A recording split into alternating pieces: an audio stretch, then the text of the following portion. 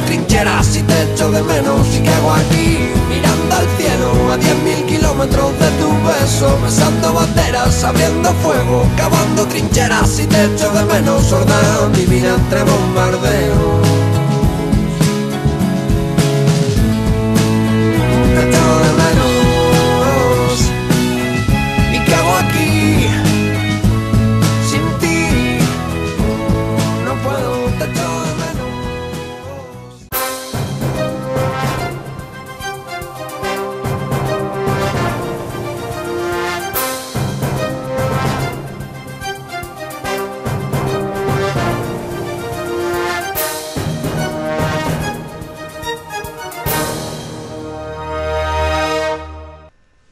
Bienvenidos y bienvenidas amigos y amigas al repaso detallado de la información comarcal. Continuamos hoy, abrimos el informativo con la noticia que ha estado en la calle a lo largo de la última jornada, con la muerte de Manuel Borrallo y Verónica Gordillo, asesinados en la mañana del lunes 27 de febrero. Hemos estado hoy precisamente en el tanatorio con uno de los familiares, Fermín García, que nos adelantaba algunas de, de las líneas y de las hipótesis que baraja la Guardia Civil y la Policía en cuanto a la causa y al móvil del eh, posible, del supuesto asesinato.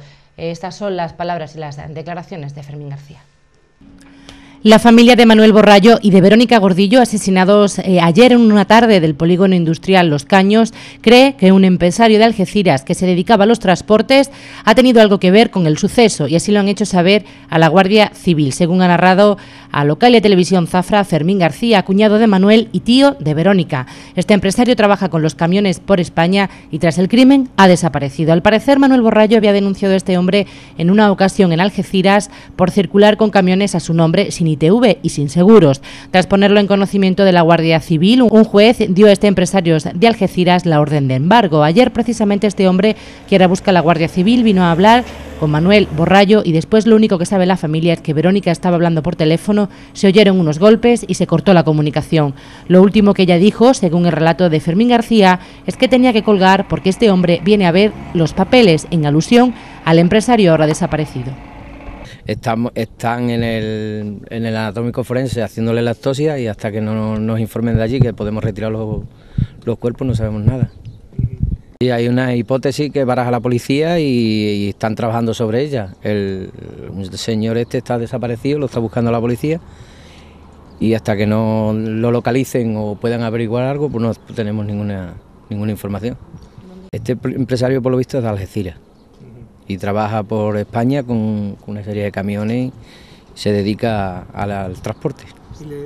El problema de eh, es un, la hipótesis que barajamos la familia es que este señor le había denunciado a mi cuñado por, por un- porque andaba con unos camiones puestos a su nombre, a nombre de la empresa de mi cuñado, andaba por ahí sin ITV y sin seguros y lo paró en Algeciras, llamó a la Guardia Civil para que retuvieran los camiones de este señor porque no le pagaba la empresa ni, la, ITV ni, nada, le, estaba haciendo una deuda grande y a, raíz de ahí el, juez le dio la, orden de embargo y este señor vino ayer, precisamente por eso pensamos que ha, tenido algo que ver, vino allá a Zafra, estuvo hablando con mi sobrino, con mi cuñado y que le abriera la puerta, le abrió y de ahí ya se perdió toda la, toda la comunicación con la, con la, con la empresa, porque otra sobrina mía en ese mismo momento estaba hablando con la, con la chavala que estaba allí. Te cuelgo porque está aquí este, este señor a ver los papeles. Se escucharon unos golpes, unos porrazos y se cortó la comunicación. Es lo único que sabemos. Actualmente la familia está a la espera del resultado de la autopsia a los cadáveres para poder darle sepultura. Fermín García quiso agradecer el apoyo que les prestaron en la sala de urgencias del Hospital de Zafra, en el 112, la Cruz Roja y la Policía Local. Por su parte, el Ayuntamiento de Zafra ha decretado día oficial de luto y las banderas ondean en el día de hoy a media asta. Y precisamente sobre esta noticia, hace escasos momentos nos llegaba un comunicado, una información que nos afirma que la Guardia Civil ha detenido en Valencia a un empresario sevillano como presunto autor de la muerte de un hombre de 52 años, Manuel Borrallo, y su sobrina embarazada, Verónica Gordillo, cuyos cuerpos fueron encontrados este lunes en la oficina de una nave en el polígono industrial Los Caños de Zafra, de la empresa que era propietario el fallecido. El arrestado era el principal sospechoso de la Benemérita, pues debía muchísimo dinero al fallecido e iba a ser embargado a causas de dichas deudas. Según se informa, la Guardia Civil ya planeaba detener al sevillano este lunes, pero escapó hacia Valencia, donde ha sido detenido en esta misma tarde. Son informaciones, como decimos, que nos llegaban hace escasos momentos y que hemos querido compartir con vosotros. Ahora ya sí cambiamos de tema y les hablamos ahora de la próxima movilización de la tamborada que los sindicatos, las confederaciones sindicales organizan por toda Extremadura. En concreto en Zafra, Comisiones Obreras y UGT organizan este acto de movilización pública el próximo miércoles 29 de febrero a las 7 y media de la tarde en la Plaza del Alcázar. Proyecto de Futuro de Extremadura, desde Jerez de los Caballeros, les ofrece la noticia del día. Grupo Alfonso Gallardo, consiguiendo un mejor futuro para todos los extremeños.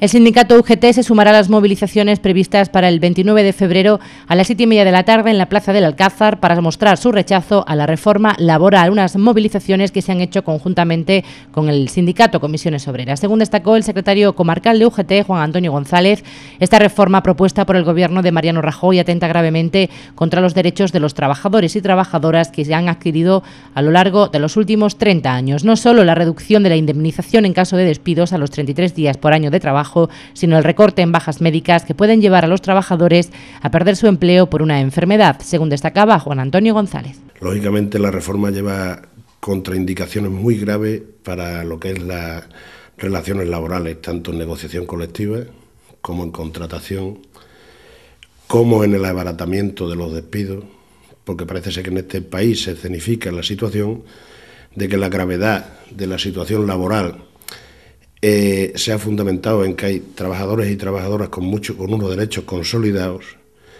y mm, que esa es la causa del desempleo.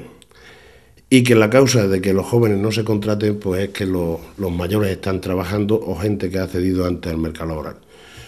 Se achaca que la situación de desempleo es culpa de, de la situación del mercado laboral español, que está muy encorsetado con la negociación colectiva, salarios muy altos y demás y hombre, yo creo que lo que se intenta es un enfrentamiento de los trabajadores con los empresarios, cosa nunca más lejos que los empresarios, las pequeñas empresas eh, y las pymes y los autónomos se deberían de dar cuenta de que trabajadores y trabajadoras que pasen de aquí a dos años a cobrar 641 euros van a tener menos ingresos para bienes de consumo, pongamos hostelería, comercio, comprarse un vehículo, una vivienda, con lo cual ellos va a caer su actividad también y se va a destruir mucho más empleo. El que los trabajadores y las trabajadoras ganen menos dinero va a significar que hay menos consumo interno y va a significar que va a haber más retroceso económico. Yo entiendo que este gobierno se está confundiendo. Pocos días antes de la reforma, patronal y sindicato firmaban un acuerdo de negociación colectiva ponderado y ajustado a la situación real, dándonos cuenta todos de cuál es la situación del país. El gobierno se lo pasa por donde procede y a la vez pues también se firmaba un acuerdo de lo que era la flexibilidad interna de la empresa.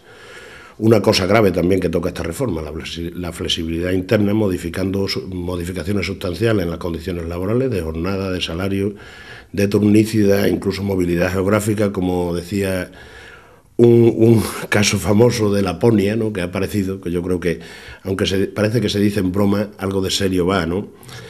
Y a la vez dilapida o, destruye mucho empleo público esta reforma, porque ya tuvimos el caso de un anuncio de un ERE de un ayuntamiento cercano, que van a venir en cascada, que van a venir en cascada estos ERE y despidos objetivos a trabajadores y trabajadoras de las administraciones públicas, de todo tipo.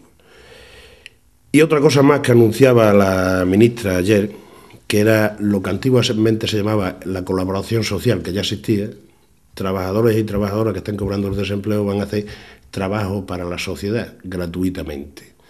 Yo entiendo que esto no son formas ni maneras, saltándose la Constitución española en su artículo 7, que le dice a los gobiernos que, aparte de ser la regla estatal, que deben de negociar con los agentes sociales y económicos cualquier tipo de esta, de esta medida.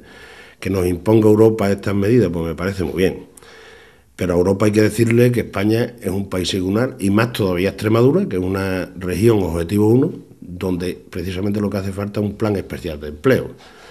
Y vamos, no sé si quiere saber algo más sobre el tema, pero creo que es una reforma más que debatida y la postura de los sindicatos se conoce. La movilización está prevista para el próximo miércoles 29 de febrero a las 7 y media de la tarde en la Plaza del Alcázar. Sí, lógicamente estamos haciendo campaña eh, para que los ciudadanos y las ciudadanas se sumen a la concentración del día 29 en la Plaza de los Escudos en Zafra y en la Plaza de España en Jerez de los Caballeros a las siete y media. Son manifestaciones que queremos que se sume toda la sociedad, son convocadas por comisiones obreras y UGT, UGT y comisiones obreras, y que en definitiva lo que queremos que se sume todo el mundo, no va a haber simbología de ningún partido político ni, ni ninguna central sindical, porque entendemos que España tiene que ser un clamor en contra de la barbaridad que se está acometiendo en este país, con lo cual todos los trabajadores van a ser más baratos, más frágiles de mover en sus puestos de trabajo y más dóciles, porque si te mueves vas a la calle y si te pones enfermo también. No vamos a tener derecho ni a ponernos enfermos. Grupo Alfonso Gallardo, un grupo de empresas con la fortaleza del acero, firmes cimientos empresariales y fundido con el proyecto de futuro de Extremadura. Desde Jerez de los Caballeros le ha ofrecido la noticia del día. Grupo Alfonso Gallardo, consiguiendo un mejor futuro para todos los extremeños. Nos despedimos hoy en clave cultural con la Coral Santa Cecilia que ofrecía este fin de semana un concierto en el nuevo Teatro Municipal y donde presentaban también el libro Antoñita Moreno, La voz que nunca muere, del tenor y autor Emilio García Carretero. La Coral Santa Cecilia ofreció el domingo 26 de febrero un concierto con un artista invitado de excepción, Emilio García Carretero, tenor y autor del libro Antoñita Moreno, La voz que nunca muere, que se presentaba en dicho acto. El tenor interpretó romanzas de zarzuela en un acto celebrado en el nuevo Teatro Municipal y al que acudió un gran número de público. La directora de la coral, Tony Porra, se mostró muy satisfecha de la acogida que ha tenido este concierto.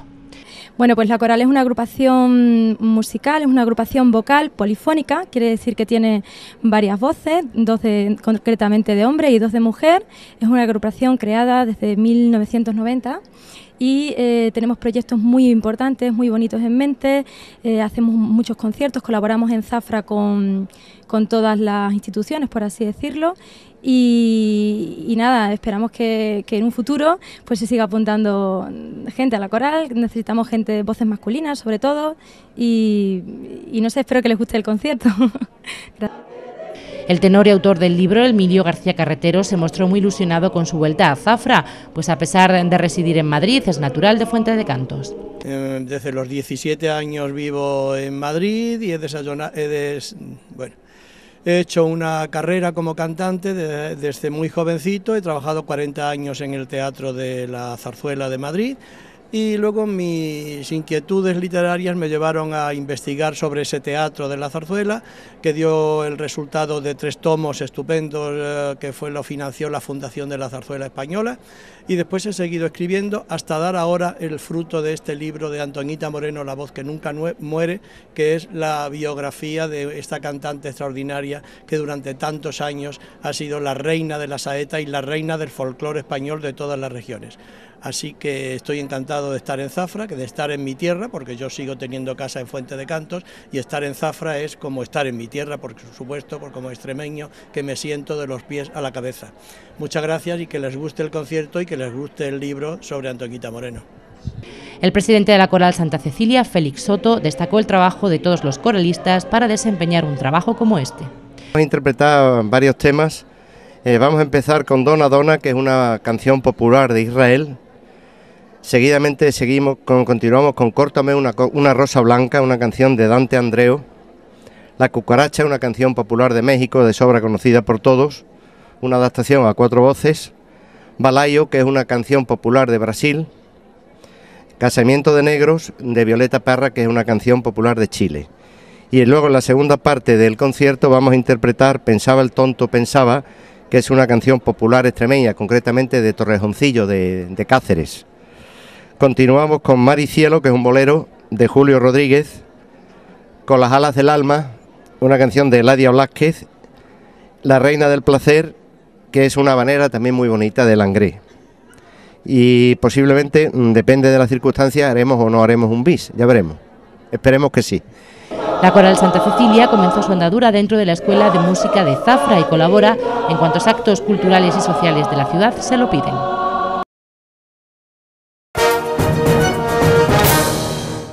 Pues es todo, mañana volveremos con más información, estaremos pendientes de la noticia que ha conmocionado a toda Extremadura y también a gran parte del país. Estaremos pendientes y mañana, como decimos, les ampliaremos la información que le hemos ofrecido hoy y también estaremos pendientes de si eh, se informa de algo nuevo. Volvemos mañana a las nueve y media de la noche en Sur Redifusiones. Que pasen un feliz día y los esperamos de vuelta.